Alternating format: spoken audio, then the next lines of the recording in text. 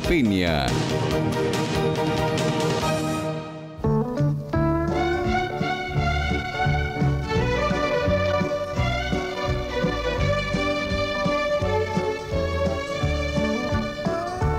Aquí estamos nuevamente compartiendo esta media hora del programa junto a todos ustedes para llevar la información de cómo se encuentran las distintas localidades turísticas con este tema de la pandemia. Así que nos estamos trasladando hacia el sur, más precisamente a las grutas, donde eh, el director de turismo nos va a explicar cómo están en este momento, qué es lo que están haciendo para lo que se supone sería la apertura de la temporada.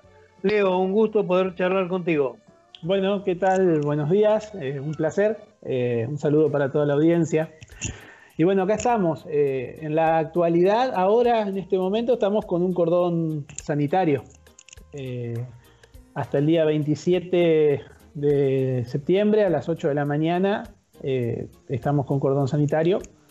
Este, pero sí, nosotros desde el área eh, hace ya mes, durante toda la pandemia, nunca dejamos de pensar en, una temporada, ¿no? En la temporada sí que estamos trabajando, estamos trabajando en, prepararla para tratar de que sea lo, más normal posible, para decirlo de, alguna manera.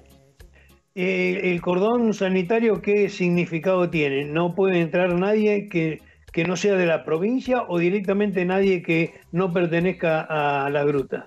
No, en realidad estamos desde el día 17 de marzo del 2020 con un operativo cerrojo en lo que es el ejido. Nosotros estamos, en, el ejido nuestro eh, ocupa tres centros urbanos.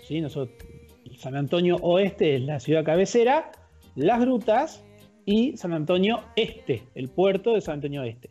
Nosotros a partir de del 17 de marzo, el intendente eh, ordenó un operativo cerrojo y allí quedó cerrado el municipio para toda persona que no tuviera domicilio eh, en el lugar. Así que nosotros desde ese día estamos de lunes a lunes, las 24 horas del día, ayudados por policía y, prefectura, bomberos de los dos, de todos los, del, tanto de las grutas como de San Antonio Oeste y del Este, eh, participando en los controles.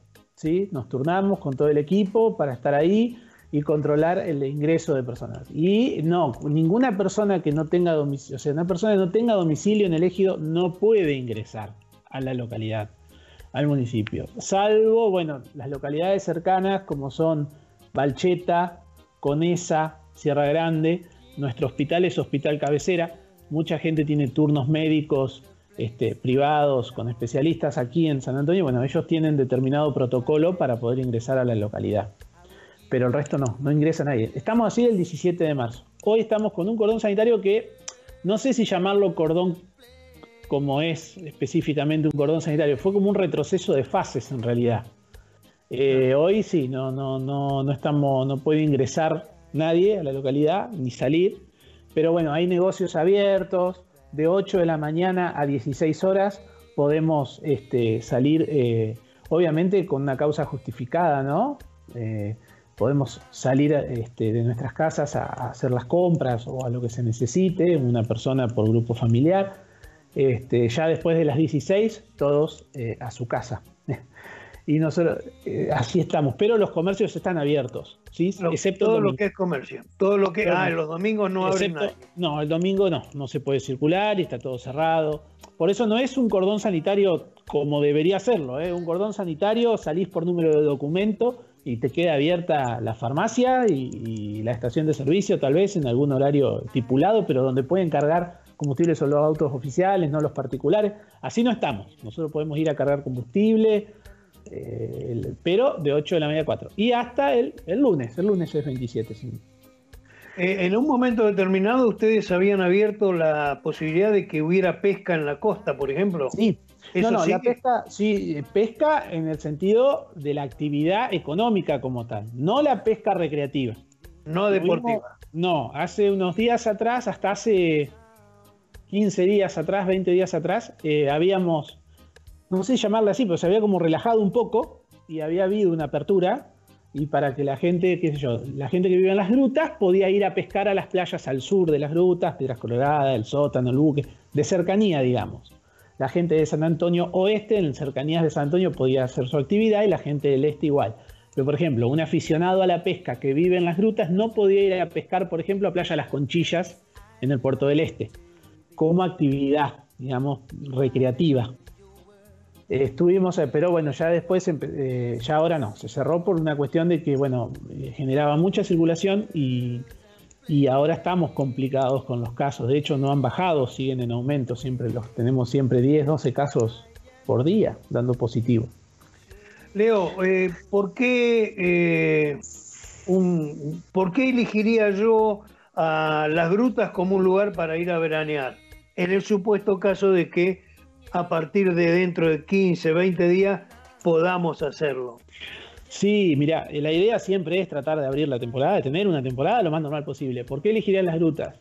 Nosotros desde hace ya eh, seis meses venimos trabajando en un sello de calidad sanitaria para el destino. ¿sí?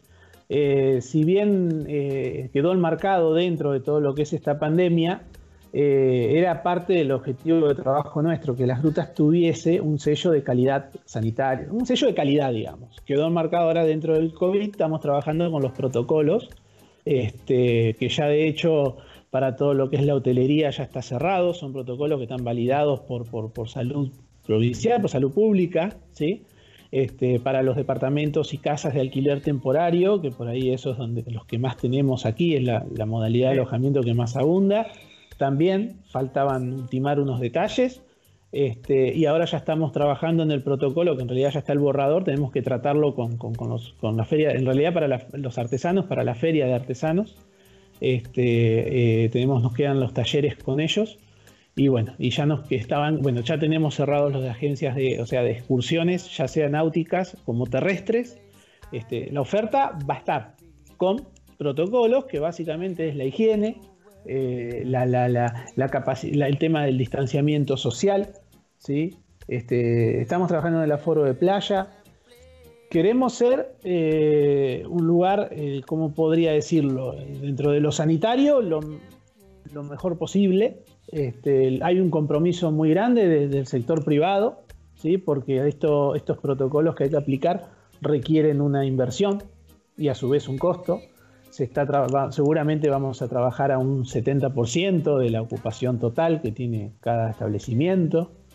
Este, eso representa un costo para, el propietario, pero bueno, estamos en esta nueva realidad, nueva modalidad. La idea es tener la mejor temporada que se pueda.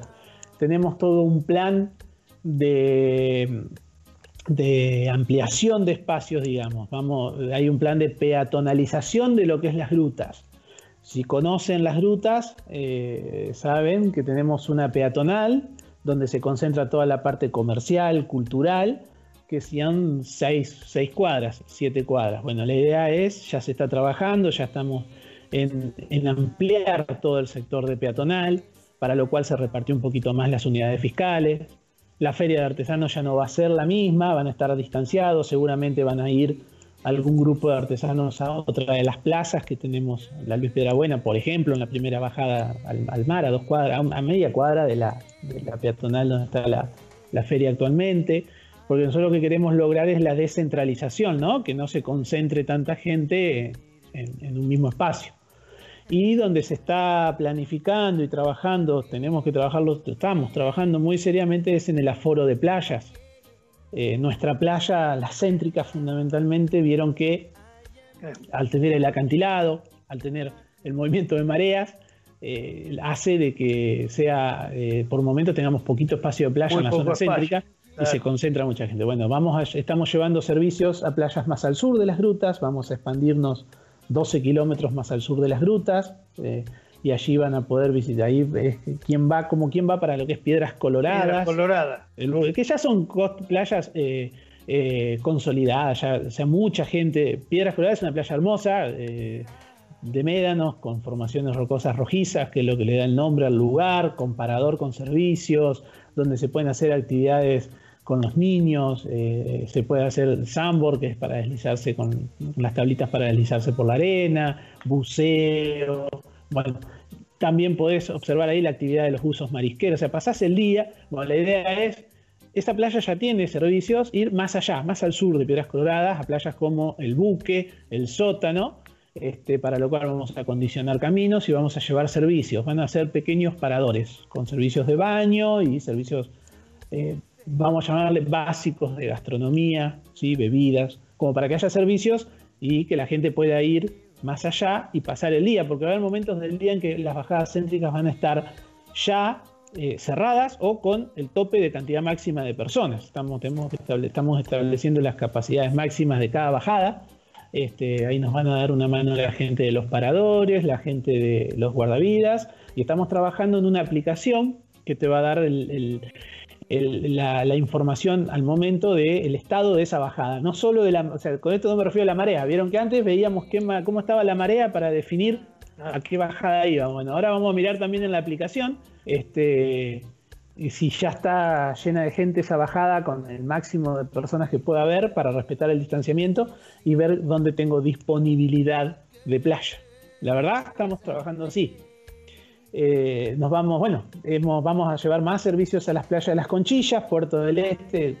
Eso es maravilloso, por ahí es lo que también este, no sé si ya conoce la gente, si no conoces, vamos, estamos a 60 kilómetros de las grutas, eh, ahí está San Antonio Este, vas por ruta nacional número 3, este, y ahí tenemos 20 kilómetros de playa en extensión. Ahí es fácil, es más sencillo para mantener el distanciamiento social y todo. Vamos a, tenemos ya sobre Playa Las Conchillas dos paradores que brindan todo tipo de servicios, muy buenos servicios gastronómicos, por ejemplo. Eh, pero bueno, vamos a llevar algunos paradores más. Estamos ya en la próxima semana eh, licitando, ¿sí? Este, para ver quién quiera hacer un emprendimiento esta temporada. y vamos a hacer, eh, vamos a llevar paradores también para llevar más servicios. allí, bueno, ahí ya contamos con bastante cantidad de playa, digamos, en extensión. la playa de las Conchillas, bueno, se conoce por ese manto de caracoles blancos que recubre a toda la costa que tenemos toda esa playa blanca de caracoles y arena. Y también estamos, vamos a llevar servicios sobre lo que es Ruta Provincial 1, más conocido como el Camino de la Costa.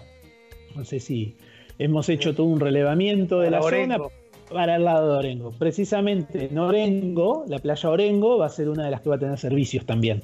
Y está a 12, 14 kilómetros de, por el camino de Ripio, la ruta 1, que está excelente el camino, este, ahí también van a poder eh, ir a pasar el día los turistas, quienes elijan visitarnos, y, estar por ahí más eh, alejados del centro, como para evitar el, generar un distanciamiento.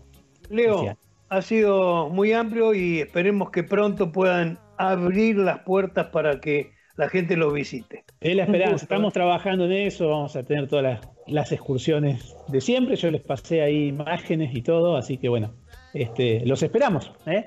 Vamos a tratar de, lo vamos a esperar y, vamos estamos trabajando para hacer un destino seguro.